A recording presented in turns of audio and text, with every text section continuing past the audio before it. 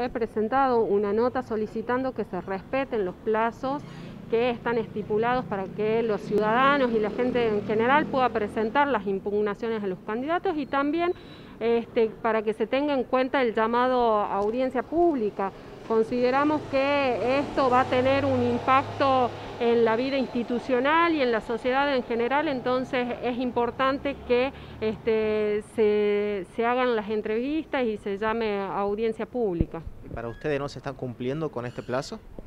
No, no se está cumpliendo, tenemos entendido, a ver, hoy están eh, llevando adelante las entrevistas a, los postulantes y tenemos entendido que en la sesión de mañana se quieren tratar los, los pliegos ya directamente, entonces claramente no se están respetando los plazos, los plazos vencen el día viernes a las 9 de la mañana, a nuestro entender, y hasta ese momento todavía la gente tiene este tiempo para presentar la impugnación. Si se llegan a aprobar mañana los pliegos en, la sesión de senadores, ¿les queda algo por hacer?